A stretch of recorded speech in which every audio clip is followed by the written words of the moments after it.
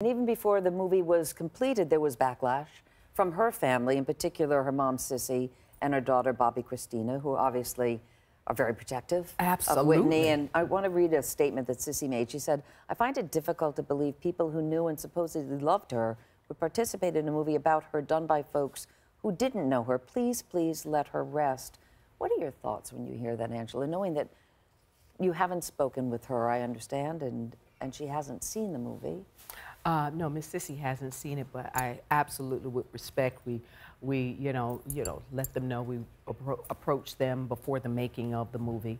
You know, if they wanted to be involved, it certainly is available for that. If you don't, we certainly can respect that. You know, that stand, that stance also. Um, and I understand it. I truly understand it. She was, she was their heart. She was their mother, their daughter.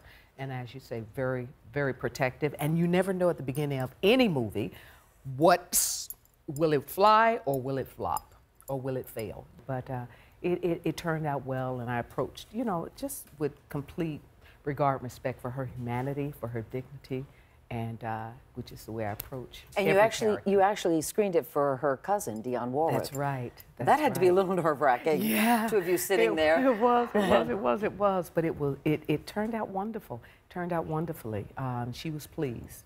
She was. She was pleased with the story and with how how we told it and uh, and that made me pleased. But I I was sitting straight ahead watching. Of course, all of a sudden I was just very very cold. you know, so I held myself, and I'm looking forward at the screen. But I my arms are crossed, my legs are crossed, and my eyes were almost crossed because I was trying to look, you know, like behind me without turning my head. You know, but afterwards when she when she she clapped and she said thank you and this will be a good thing. Yeah, and, for, for and hopefully, hopefully she'll pass that message on to the other family members.